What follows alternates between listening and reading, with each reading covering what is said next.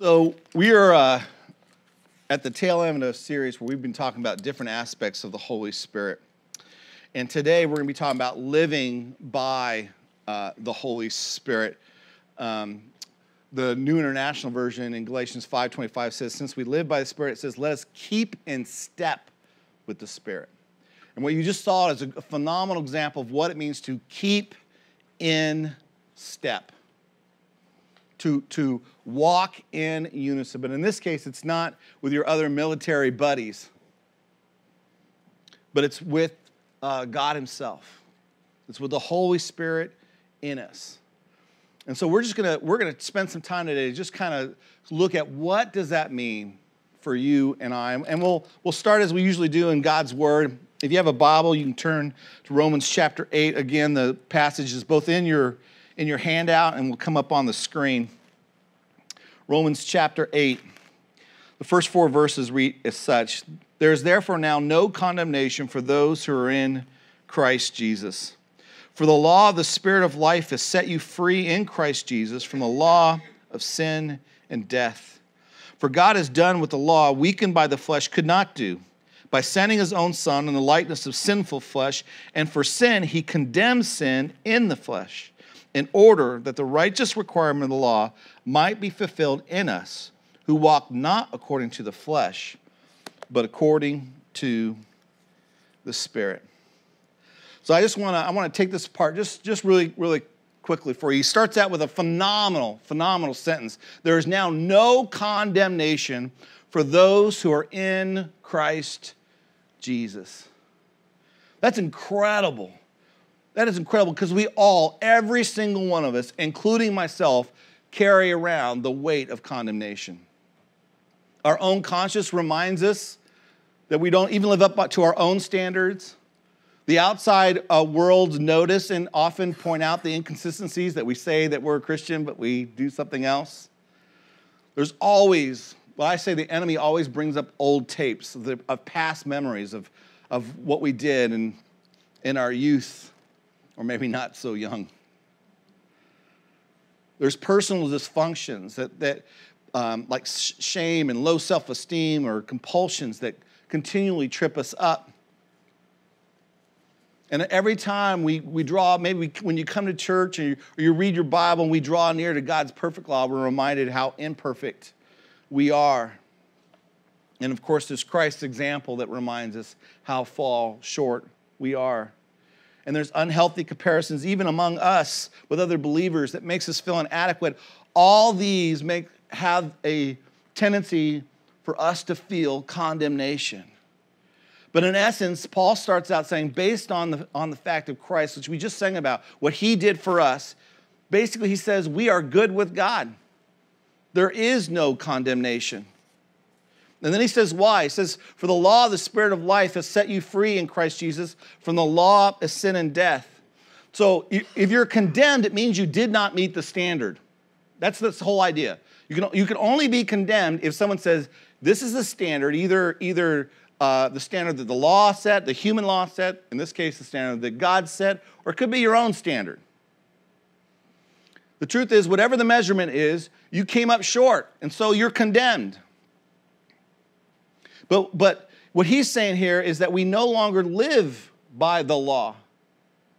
The law is this, is this rules. It's the, it's the standard of, of the Ten Commandments.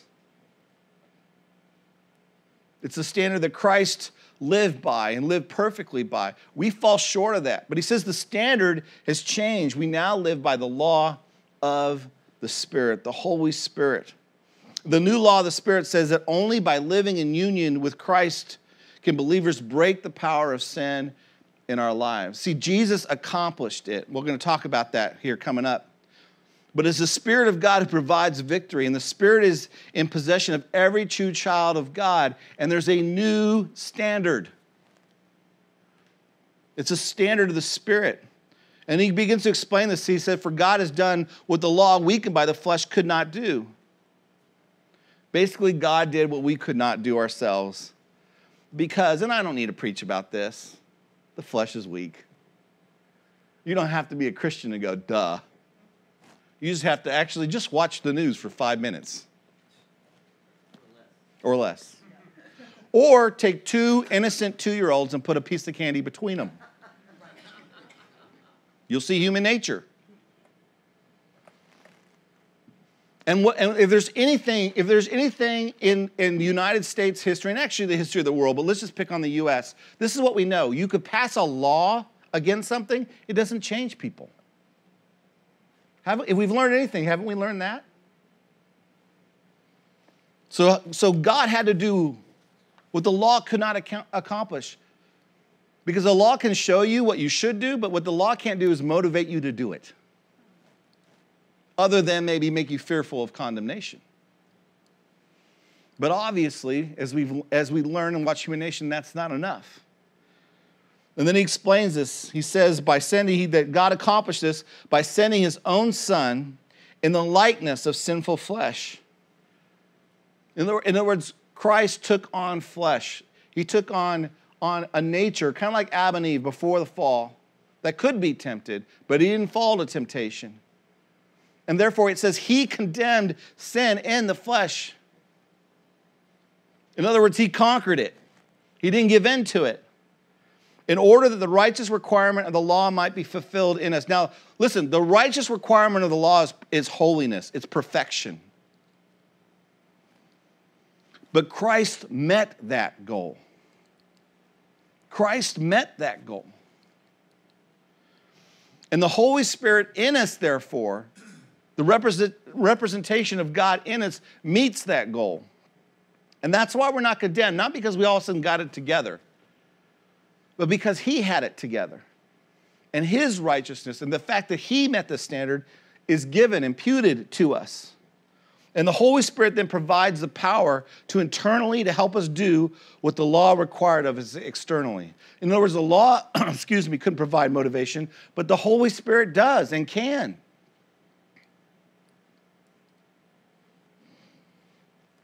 And then he gives us the qualifier. Who does this apply to? Who walk not according to the flesh, but according to the Spirit. In other words, this no condemnation that comes through Christ applies to those who follow Jesus, who no longer uh, walk according to the cravings of what makes them happy.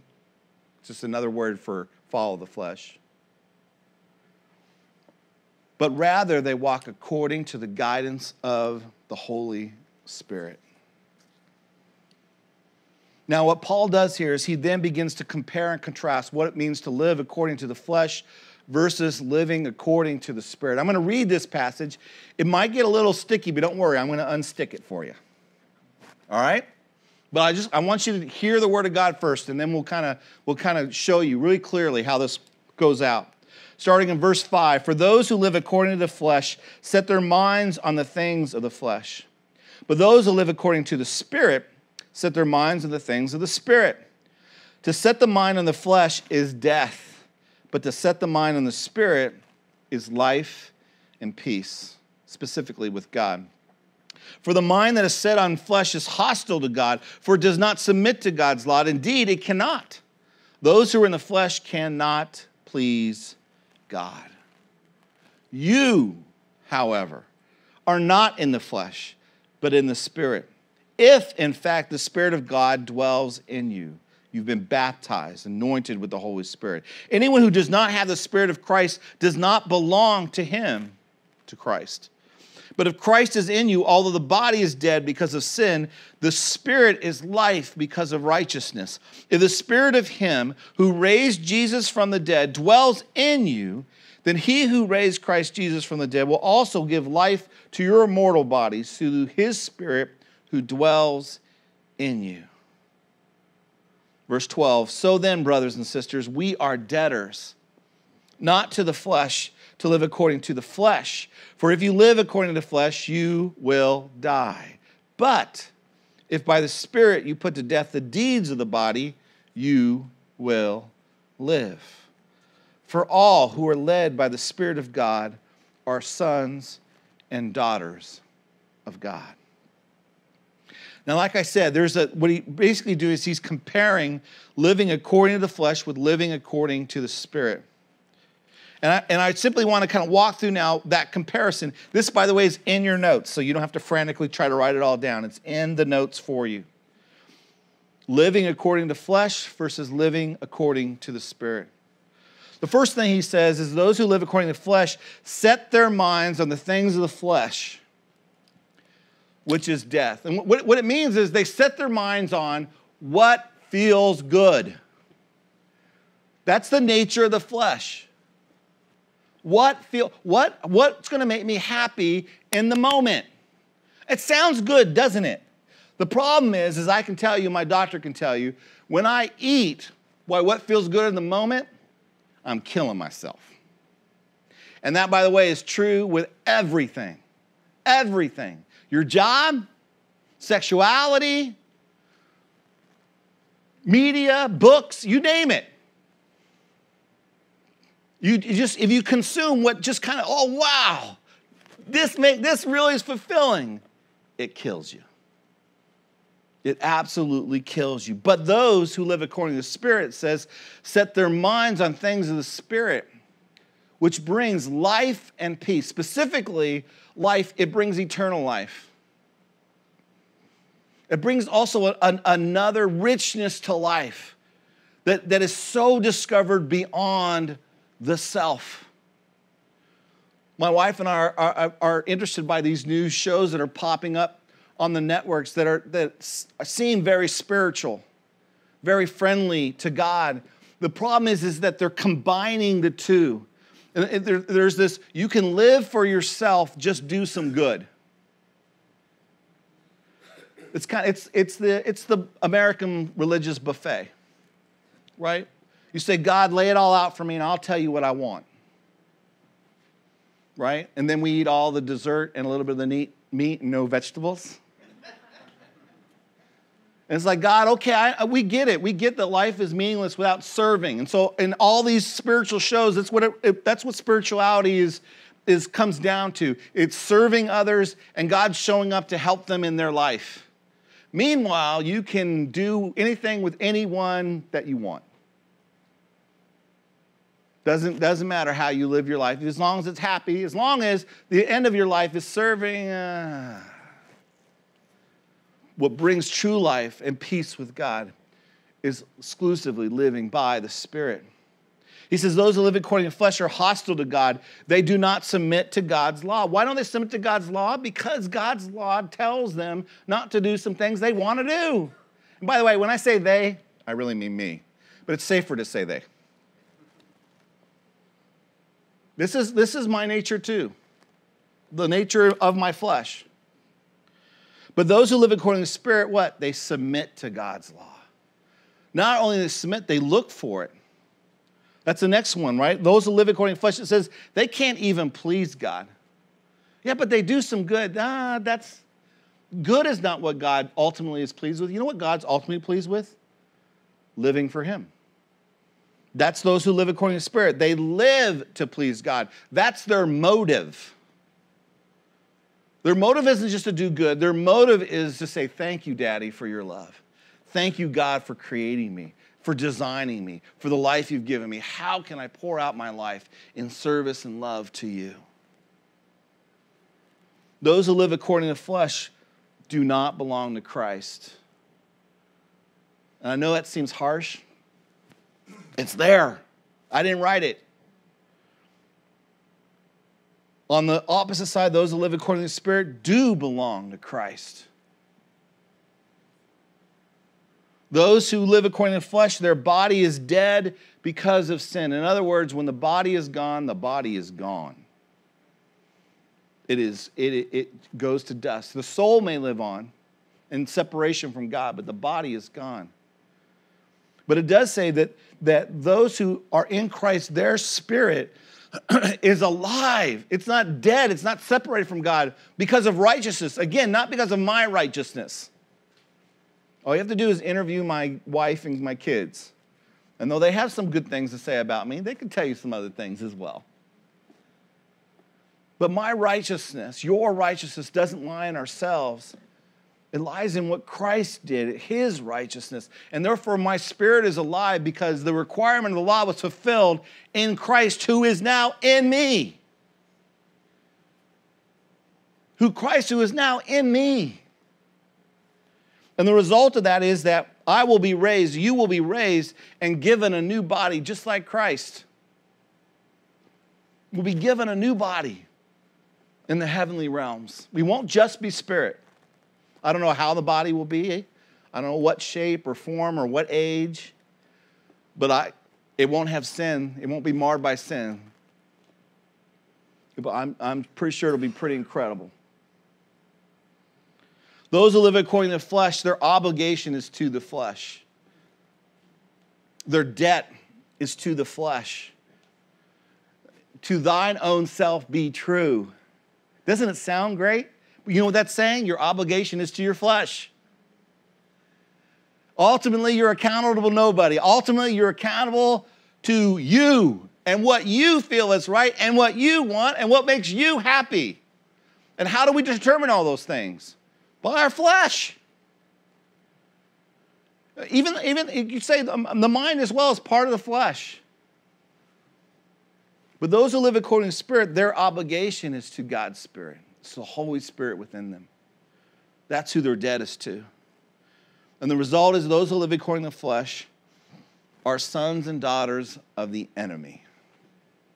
And I know, again, that sounds harsh. You just, the only one you have to argue with that one on is Jesus.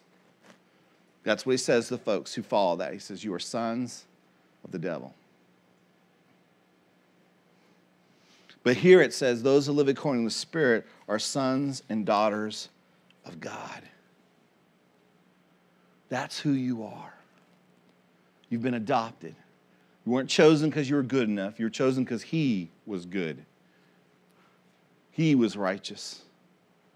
And it's through the indwelling of the Spirit that you receive by faith in Christ that we overcome the flesh and we begin to live a fruitful Christian life. We begin to live that life in step. Now, I started this with a little video clip of what it looks like to live in step. I didn't fully show you the clip, I wanted to show you the rest of this. Pay attention to the guy in the back. Watch this.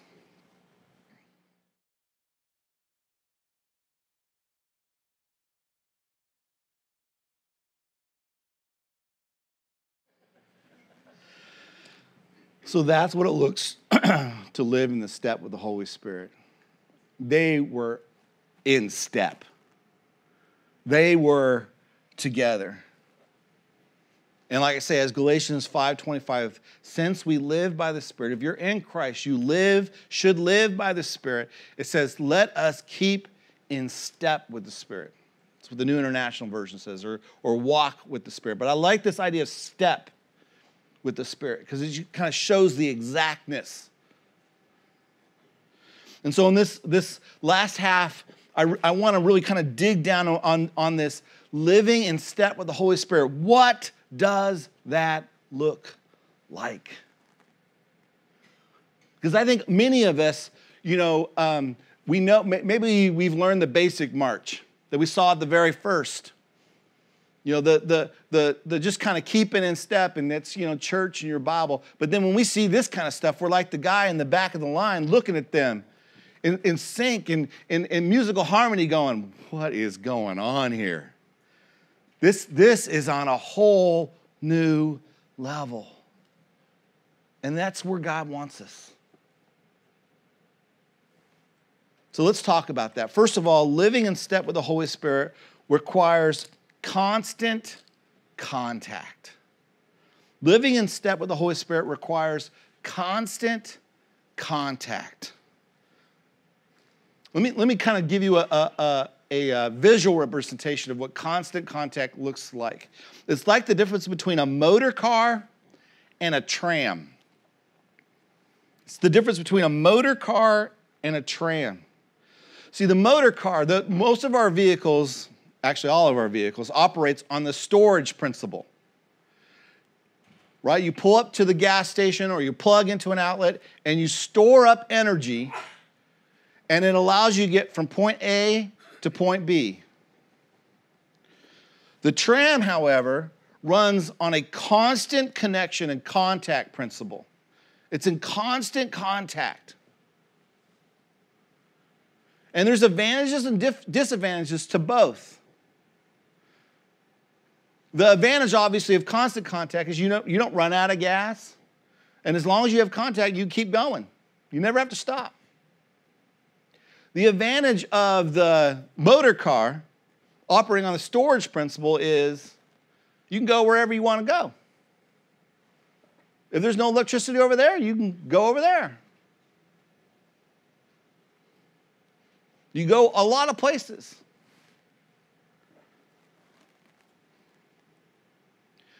Now, in terms of, of being in contact with the Holy Spirit, I just, I just kind of want, I want to follow this out a little bit. Many of us live our Christian lives based on the storage principle. You come to church and you think, you know, you store up grace. You get God's word, and it's supposed to last you then for the next six and a half days. It's the only time you think of or you seek or you're in tune with God. You just kind of you kind of fill up. And, and why do we do that? I, I, I don't know why you do it. I'll tell you why I want to do it. Because there's things in the rest of my week that I want to get to that God's lines may not go to. I have my agenda. I have my route of how to get from point A to point B.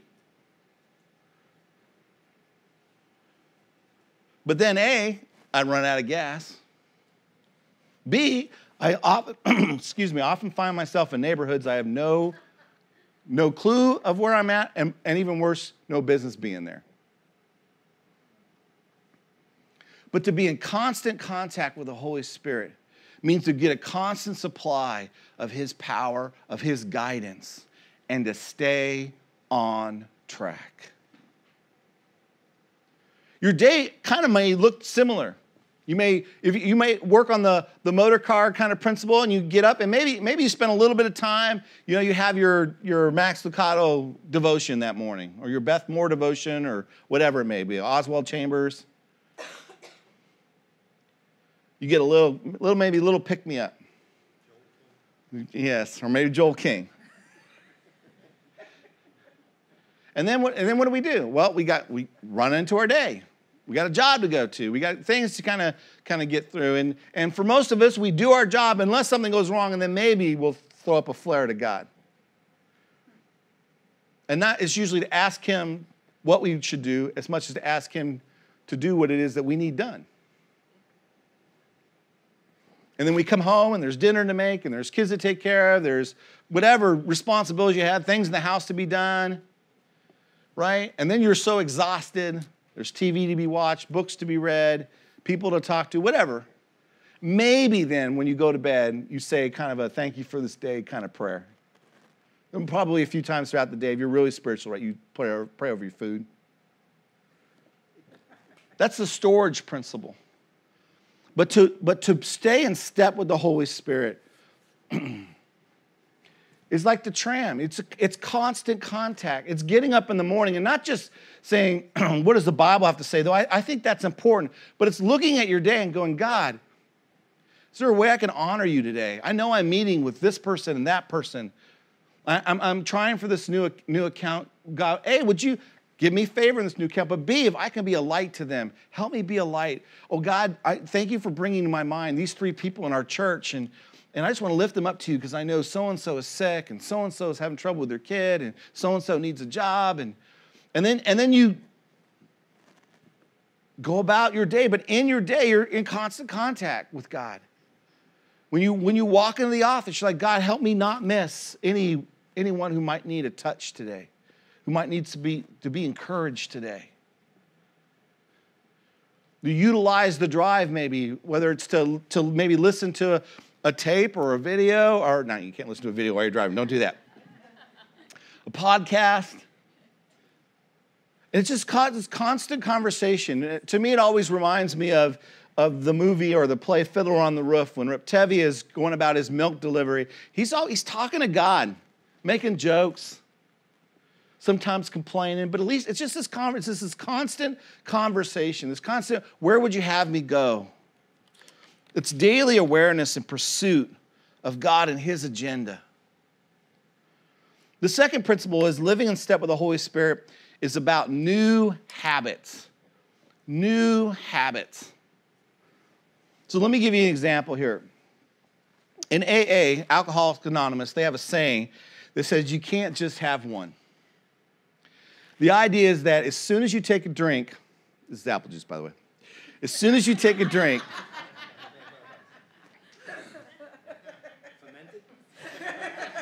I'm not going to answer that question. it's over. You got to have a second. There's, a, there's, a, there's an acknowledgement that there's something in their, in their flesh, both physiologically and mentally, that once you take a drink, the choice is gone from there. And, the, and here's the thing we're, most of us here probably are not alcoholics, but all of us have those items. Us have those. For me, it's in the middle of the evening, around seven or eight o'clock. If I eat the wrong thing, I can't just stop at one. I don't know what it, what it is for you. you maybe it's going on the internet and seeing something you shouldn't see, and then you just can't. Whatever it may be, that we, we, there are things in all of our lives. You don't have to be spiritual for this principle to understand this principle. You just have to live. And, and you just can't take one. And so, what does an alcoholic have to learn? If they don't have control over the second drink, what do they have to learn? I got to do something before the first drink. That's what I have control over. I don't have control over once I start. I don't have any control. So when do I have control? before. And so it's all, it's, it begins to be, I got to form new habits. By the way, empowered by God, in step with the Holy Spirit. That's, that's step number one. But what God uses is new habits. First of all, you got to hang out with new friends, right? You can't hang out with your drinking buddies, right? Because they're going to put the first drink in your hand. Second of all, you need new coping mechanisms. Right? Before, when, when life got stressful, or when you celebrated something, or when you were sad about something, it didn't really matter. Whatever it was, you cope with it with a drink in your hand, or food in your hand, or with pornography, or with anger, or with you fill in the blank. And so you need to look for new coping mechanisms, new, new habits when I'm feeling tired, when I'm feeling sad, when I'm feeling distant, rather than whatever my coping mechanism is, I'm going to call my Bible study leader. I'm going to read the scripture. I'm going to listen, listen to worship music. I'm going to just talk to God about it. New coping mechanisms. And all that leads to also a new way of thinking. You got to think differently. And this is why we stress the scripture so much because, it, because we, we are, when we come to Christ, we, our minds are renewed with God's truth. God's truth. First of all, that there is no condemnation, but second of all, with God's, God's truth, that we no longer have to live by the flesh, but we live by the Spirit and what is true and what is right, and, and other people's stories of, of their successes. New way of thinking.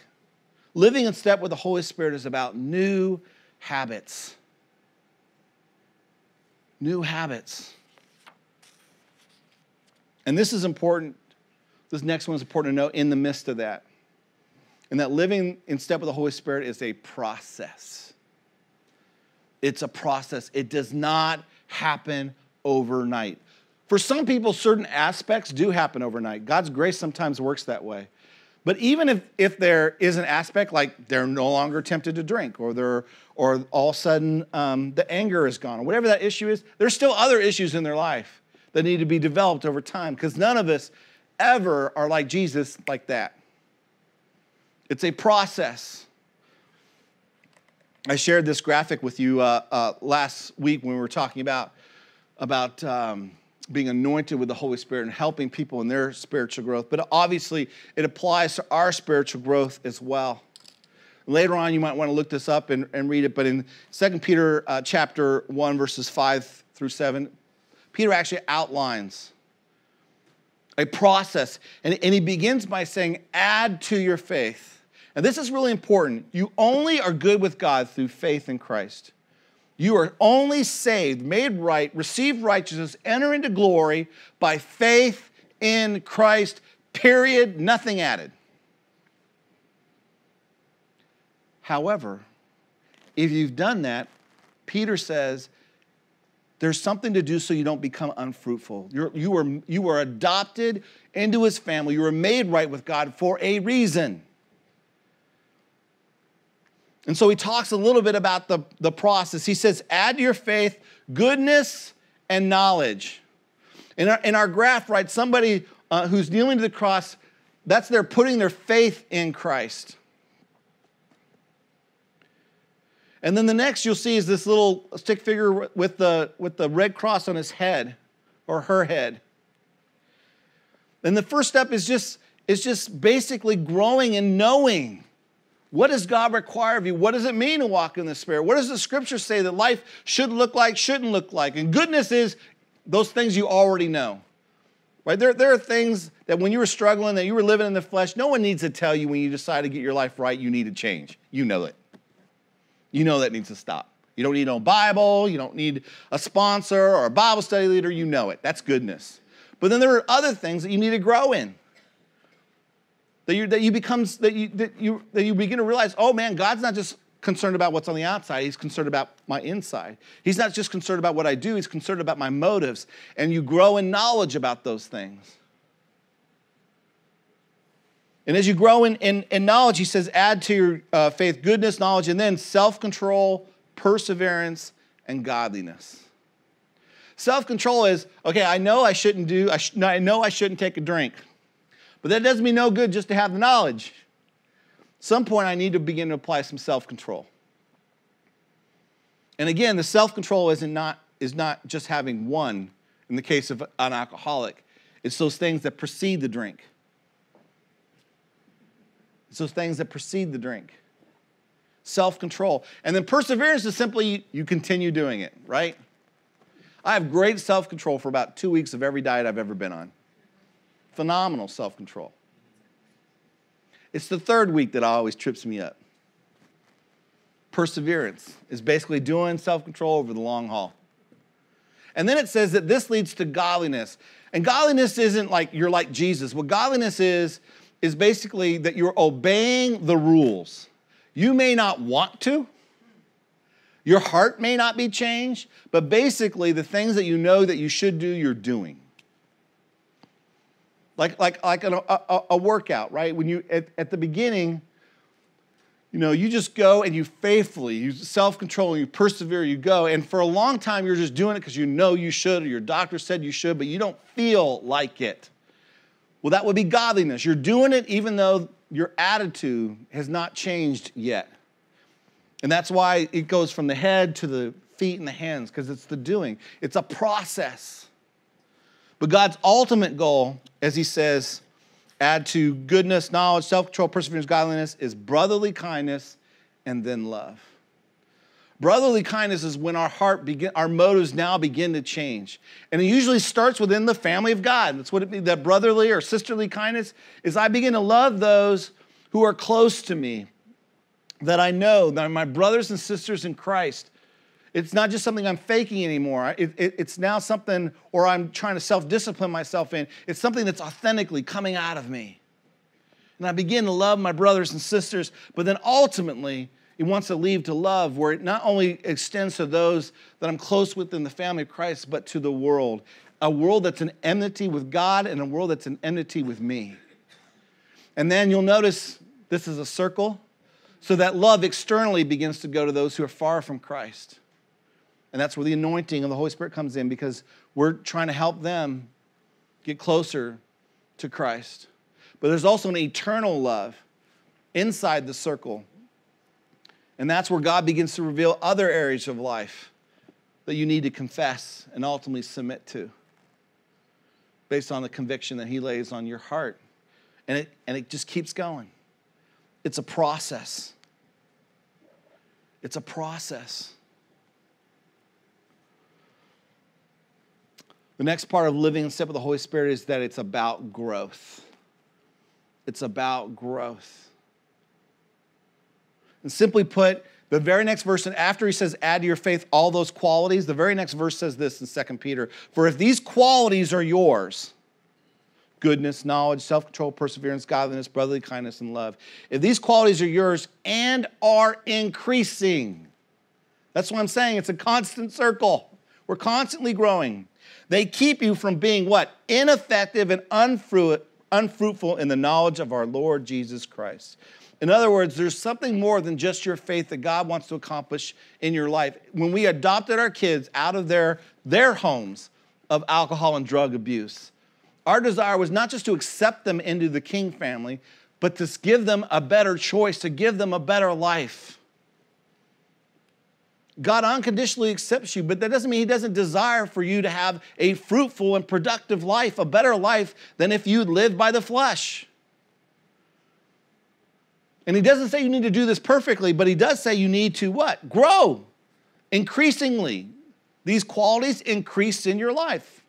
That, by the way, is the sign the Holy Spirit's in your life. Not that you perfectly have joy all the time, that you're faithful all the time. But you know what? If we talk to the people who know you, they could say, Yeah, you know what? I've seen joy increase in their life. I've seen forgiveness. I've seen humility. I've seen self control increase in their life is a sign of the Holy Spirit in your life, is a sign of growth. And lastly, living in step with the Holy Spirit starts now. Starts now. And you cannot do, or you should not do, what I do with my diets. I'm going to start on Monday, so I'm going to go wild on Sunday. There's a wide saying that says this it says, the best time to plant a tree was 20 years ago. The second best time is now. Is now. The time to have begun to walk in the Spirit seriously as a connect, constantly connected was as soon as Christ called you.